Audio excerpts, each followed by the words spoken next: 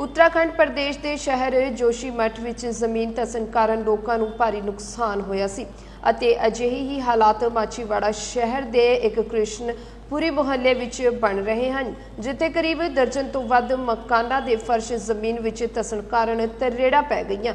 ਇਸ ਕਾਰਨ ਲੋਕਾਂ ਵਿੱਚ ਸਹਿਮ ਦਾ ਮਾਹੌਲ ਬਣਿਆ ਹੋਇਆ ਹੈ ਅਤੇ ਪ੍ਰਸ਼ਾਸਨ ਇਸ ਤੋਂ ਬੇਖਬਰ ਹੈ। ਜਦੋਂ ਮਾਛੀਵਾੜਾ ਦੇ ਕ੍ਰਿਸ਼ਨਪੁਰੀ ਮੁਹੱਲੇ ਦਾ ਦੌਰਾ ਕੀਤਾ ਗਿਆ ਤਾਂ ਕਰੀਬ 15 ਮਕਾਨਾਂ ਦੀਆਂ ਕੰਧਾਂ ਵਿੱਚ ਤਰੇੜਾਂ ਸਾਫ਼ ਦਿਖਾਈ ਦਿੱਤੀਆਂ ਅਤੇ ਫਰਸ਼ ਵੀ ਕਈ ਥਾਵਾਂ ਤੋਂ ਉੱਚੇ ਨੀਵੇਂ ਦਿਖਾਈ ਦਿੱਤੇ।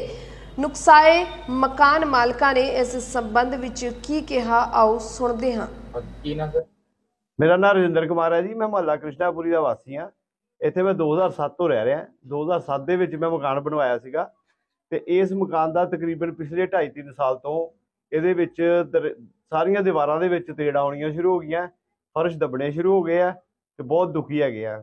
ਫਰਸ਼ ਕਈ ਵਾਰੀ ਆਪਾਂ ਟੋਇਆ ਪ੍ਰਭਾਵ ਵੀ ਲਿਆ ਵਾ, ਉਸ ਤੋਂ ਬਾਅਦ ਫਿਰ ਫਰਸ਼ ਜਿਹੜੇ ਆ, ਫਿਰ ਟੁੱਟਣੇ ਸ਼ੁਰੂ ਹੋ ਗਏ ਆ ਔਰ ਦਰਾਰਾਂ ਕੰਧਾਂ ਦੇ ਵਿੱਚ ਇੰਨੀਆਂ ਵੱਡੀਆਂ, ਉਹ ਛੱਤਾਂ ਦੇ ਵਿੱਚ ਦਰਾਰਾਂ ਆਈਆਂ, ਰਾਤ ਨੂੰ ਸੌਣ ਤੋਂ ਵੀ ਔਖਾ ਹੋ ਜਾਂਦਾ। ਜੇ ਮੀਂਹ ਆ ਜੇ ਤੇ ਸਾਰੀ ਰਾਤ ਲੱਭਦੇ ਫਿਰੀਦਾ ਵੀ ਜਗ੍ਹਾ ਕਿਹੜੀ ਲੱਭੀ ਹੈ, ਕਿੱਥੇ ਸੌਣਾ ਬਿਸਤਰੇ, ਗੱਦੇ, ਰਜਾਈਆਂ, ਚਾਦਰਾਂ, ਸਭ ਕੁਝ ਗਿੱਲਾ ਹੋ ਜਾਂਦਾ ਹੈ ਤੇ ਬਹੁਤ ਦੁਖੀ ਆ। ਸਰਕਾਰ ਨੂੰ ਅਪੀਲ ਕਰਦੇ ਆ ਕਿ ਇਹਦਾ ਕੋਈ ਹੱਲ ਕੀਤਾ ਜਾਏ। ਮੇਰੇ ਸਾਰੇ ਮਹੱਲੇ 'ਚ ਹਾਲ ਵੀ ਇਹੀ ਆ। ਆਂਢ ਗੁਆਂਢ ਜਿੰਨੇ ਵੀ ਘਰ ਆ, ਸਾਰਿਆਂ ਨੂੰ ਇਹੀ ਸਮੱਸਿਆ ਆ ਰਹੀ ਆ।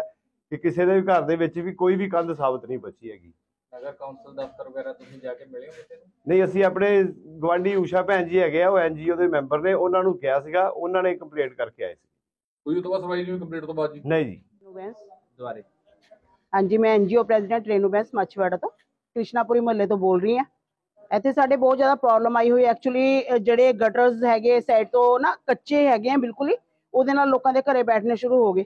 ਸਾਡੇ ਮਹੱਲੇ 'ਚ ਘੱਟ ਤੋਂ ਘੱਟ 10-15 ਘਰ ਹੈਗੇ ਜਿਹੜੇ ਵੀ ਉਹ ਜ਼ਿਆਦਾ ਹੀ ਬੈਠ ਗਏ ਉਹਨਾਂ ਨਾਲ ਜ਼ਿਆਦਾ ਹੀ ਲੋਕਾਂ ਨੂੰ ਪਰੇਸ਼ਾਨੀ ਹੋ ਰਹੀ ਹੈ।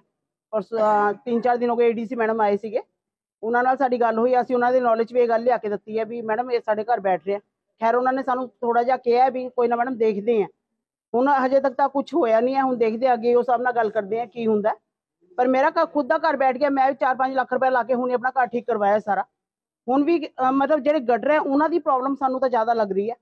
ਬਾਕੀ ਹੁਣ ਦੇਖਦੇ ਕੀ ਕਰਦੇ ਵੈਸੇ ਪ੍ਰਕਾਸ਼ ਪ੍ਰਸ਼ਾਸਨ ਤੋਂ ਅਸੀਂ ਇਹ ਮੰਗ ਕਰਦੇ ਹਾਂ ਕਿ ਵੱਧ ਤੋਂ ਵੱਧ ਘੱਟ ਤੋਂ ਘੱਟ ਟਾਈਮ 'ਚ ਵੱਧ ਤੋਂ ਵੱਧ ਕੰਮ ਕੀਤਾ ਜਾਵੇ।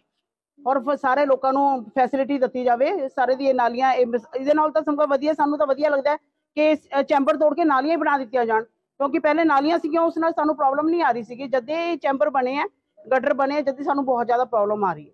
ਸਰ ਕੀ ਨਾਮ ਤੁਹਾਡਾ? ਕੀ ਹੁੰਦਾ ਜੀ? ਸੁਖਵਿੰਦਰ ਸਿੰਘ ਆ ਮੇਰਾ ਨਾਮ ਤੇ ਉਹਦਾ ਇੰਸਪੈਕਟਰ ਜਨਰਲ ਇੰਸਪੈਕਟਰ ਕ੍ਰਿਸ਼ਨਾਪੁਰੀ ਮਹੱਲੇ ਦੇ ਵਿੱਚ 15-20 ਮਕਾਨਾਂ ਨੂੰ ਤੇੜਾਂ ਆ ਚੁੱਕੀਆਂ ਨੇ। ਕੀ ਕਹੋਗੇ? ਉੱਥੇ ਮੌਕਾ ਦੇਖਿਆ ਹੋਇਆ।